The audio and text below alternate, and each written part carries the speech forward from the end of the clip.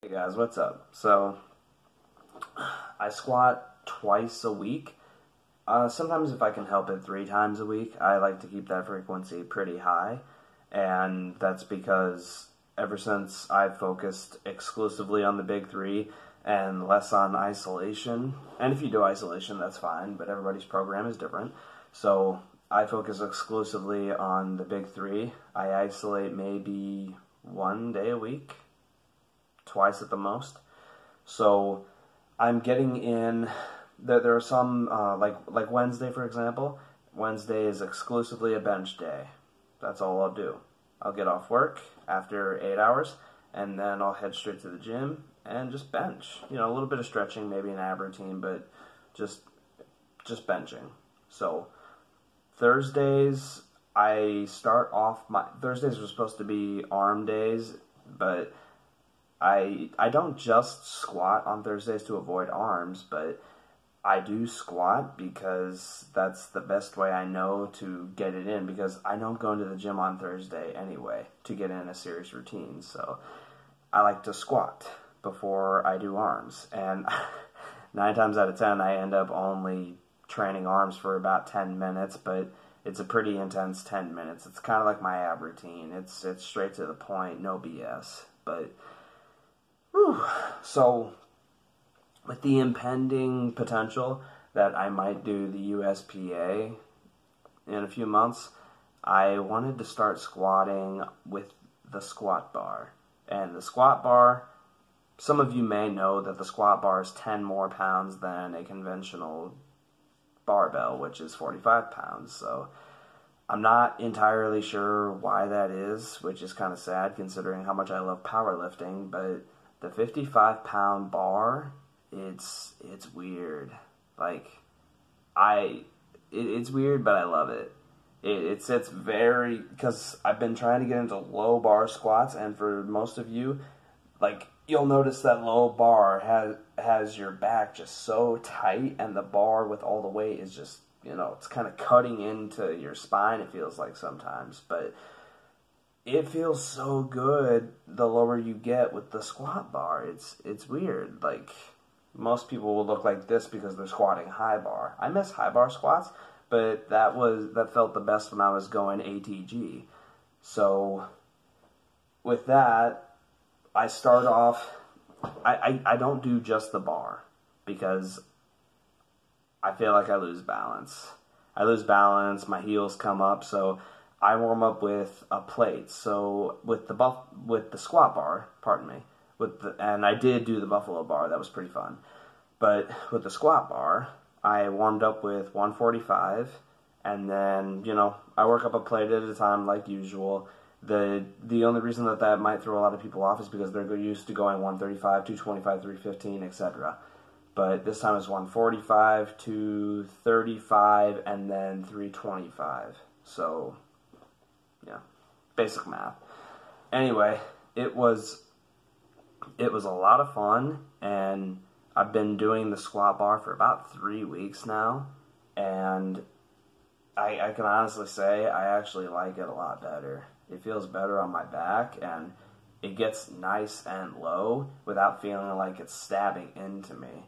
Because you, have all seen one of those Saw movies at the end. I think it was like the sixth one where Bobby did basically, uh, he was doing a donkey calf raise, but the blades were going into his traps. That's how squatting usually feels for me.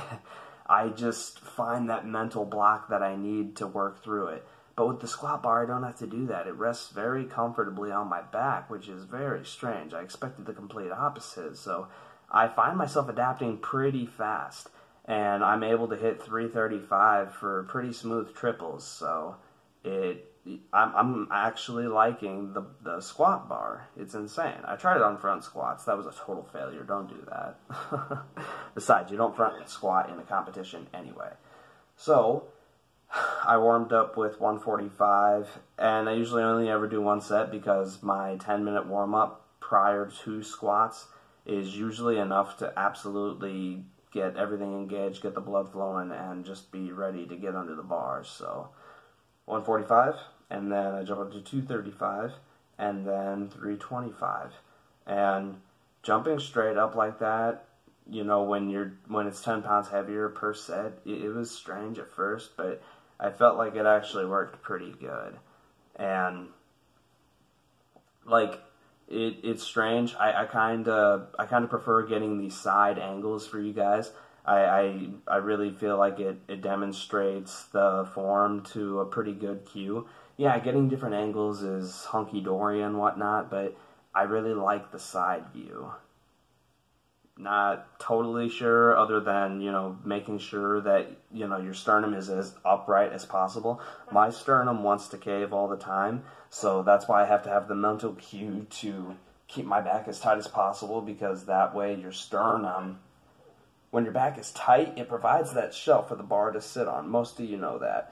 But when your back is tight, there's that shelf, and then it, it forces your sternum to just stay nice and upright. So, I mean, my squats these days, like my squat stance is so wide. It used to be fairly narrow, but that's when I was going ATG and pausing. I still pause, but that's just because I want to make it harder.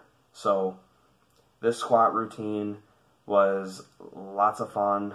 I mean, almost every squat routine is fun for me, even if it doesn't feel that good on certain days. But I wanted to film this one because this is my first squat vlog with the squat bar. And I threw in some Buffalo bar squats too because I, I just wanted to see what all the rant and rave was about with those because all my friends at the at JB Boss, fantastic gym chain by the way, fantastic business, love it. But all my friends were talking about how much they loved the squat, the the Buffalo Bar, and and it's loved because of the arch feature that it has. It it was kind of strange for me, like it changes everything, bar placement, feeling, getting under it. It it took me a little bit more time to get under the Buffalo Bar than it did the squat bar. But anyways, the workout was lots of fun, and then I've been using that massage machine a lot more. It's it's a handheld device. I uploaded it in my last video. Here it is again, and it it's weird. It it really it gets deep. I don't think anything will ever you know come close to simulating an actual pair of hands from an expert, but it, it works pretty nicely. I strongly recommend it. Stretching is so important, guys. And when you're done squatting, your legs when, when you're done training legs, your legs are very tight. They're so ready to be stretched. That's the best time to do it. So that was my squat routine. It was so much fun, and hopefully you guys enjoy it, and hopefully you guys can, you know, get an experience for yourself. I know every gym will vary, and you won't have as many barbell types as my gym does, but just, you know, just something to take under consideration for your next squat routine. And by the way, there's by mental cues, I mean, for example, so it, it all starts before you even get under the bar.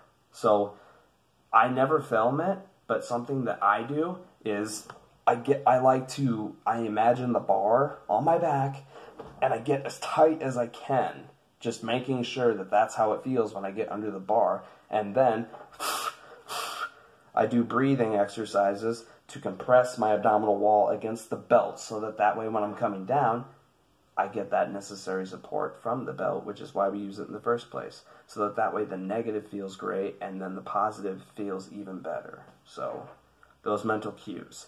And and another critical another critical cue is when you get under the bar, if if you're a, if you're an advanced squatter, then you already know that unracking the bar takes the most time. Getting a feel for it, getting it to the right place on your back, making sure that your hands are gripping the bar as hard as possible, and you know, even stepping out, it should only take it should only take about two or three steps for maximum power and energy for that rep. Anyway, those are good examples of mental cues, and hopefully you guys keep up progress, and I would love to see updates from any of you guys. Thanks.